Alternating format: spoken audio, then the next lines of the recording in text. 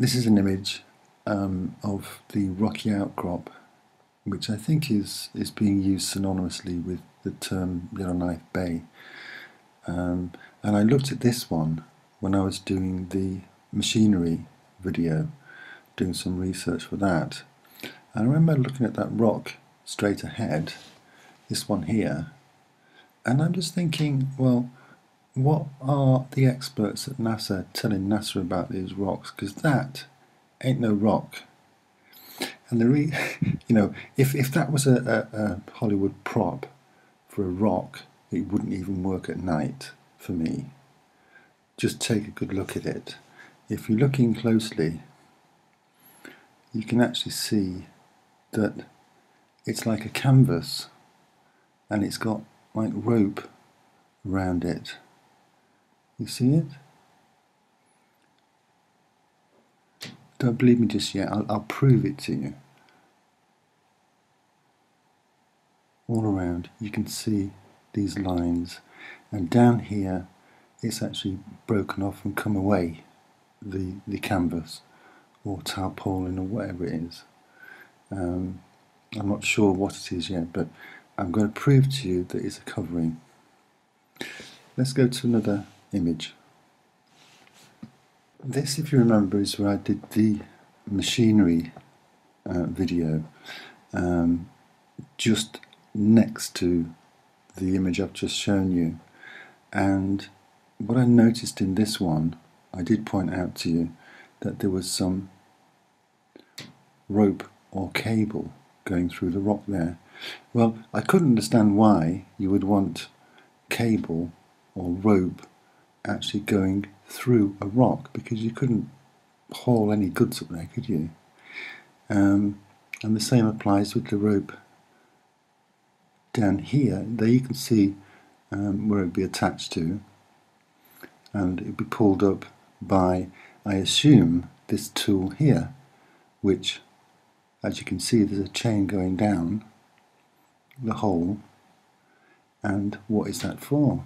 Well see there's another hole coming out of the rock coming down to here.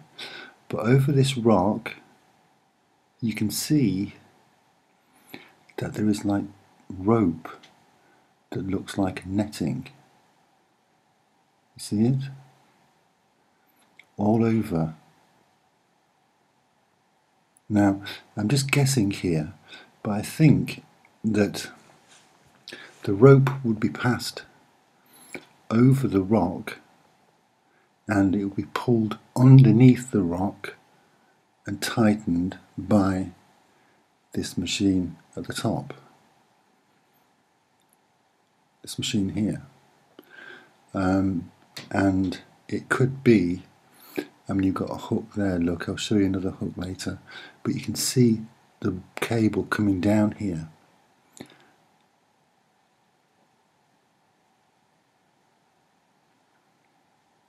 And all of these, these markings that you see across the rock are actually ancient um, ropes tying a cover over, um,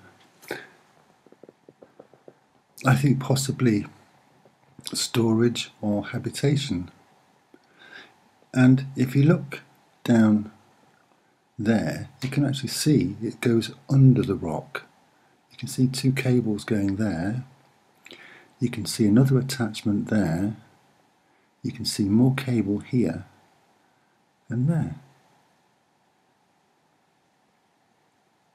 And it goes on and on.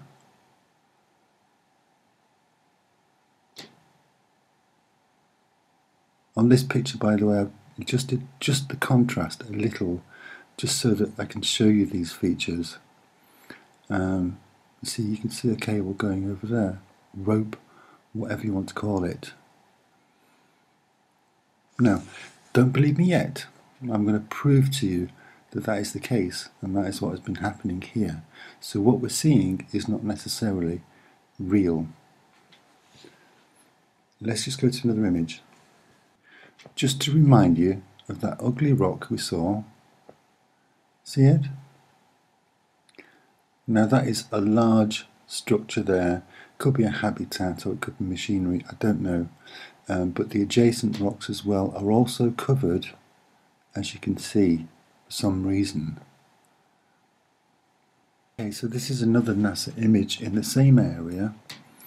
Um, and what I'd like to show you is down here, um, all of this region, I believe, is um, underground facilities, storage, habitats.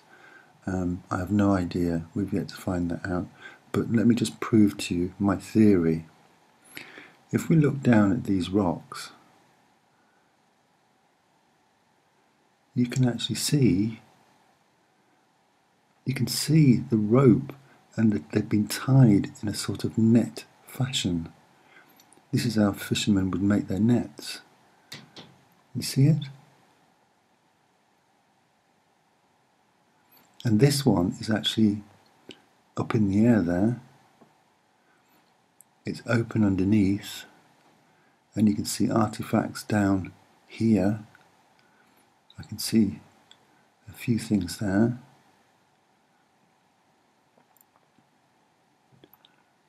See these things here? But look at this. This one didn't work. Can you see? The rope everywhere. This is all open. And in fact, um, if you look at it from there, you can see quite clearly this is all manufactured. It's been put made like that. It's a huge, huge canvas. And this one, if you think of a hot air balloon, look at the shape of that. I know it's open there now. This, for some reason, didn't um, work or it's been damaged. It comes down to this point here. And you see that section there? There's an opening there.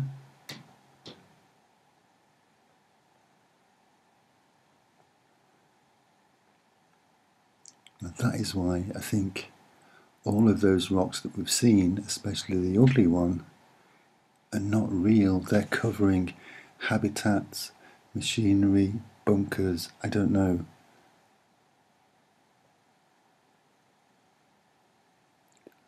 Have a close look.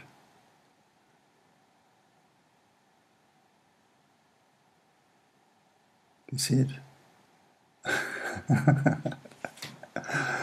That was really bugging me, and I've actually cracked it. So I think NASA, you need to take a second look at these rocks that you're seeing, um, because they ain't rocks at all. Some of them.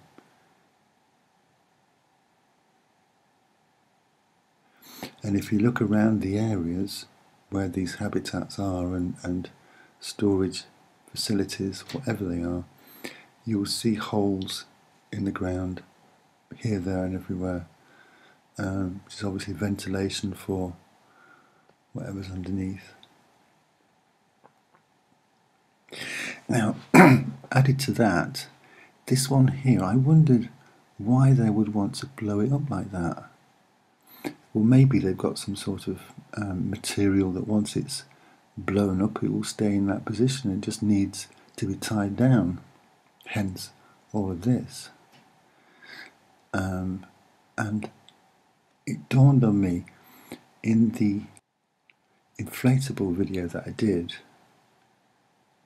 I found an inflatable which looks similar to this.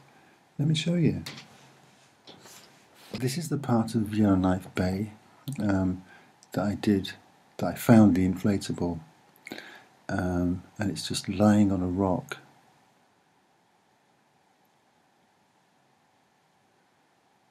Um, there, see?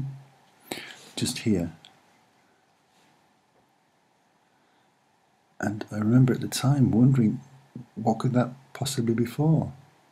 But you can see this end piece is similar to the piece that I'm just showing you now in the, the side there. Um, so that is what it's for.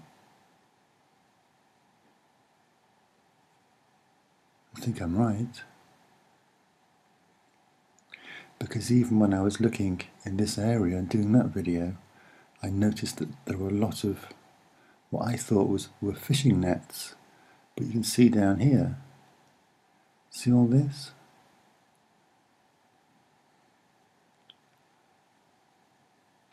And then I thought, well, how how do they inflate something like that? And it dawned on me that in this area I spotted something which I didn't use in my video, something that looks um, remarkably like a gas canister. Um, and that is just there. You see that? so, okay, so let's go back to the ugly rock.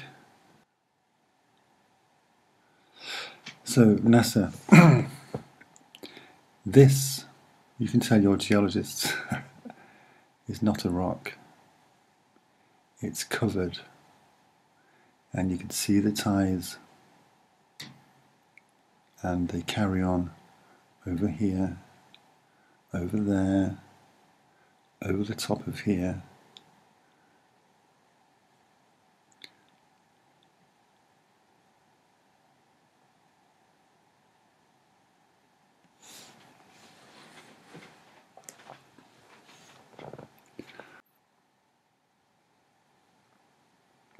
So there you have it. Um, we started with an ugly rock that didn't look like a rock we found the reason for that. It's not a rock, it's covered, and there are lots of rocks just like that.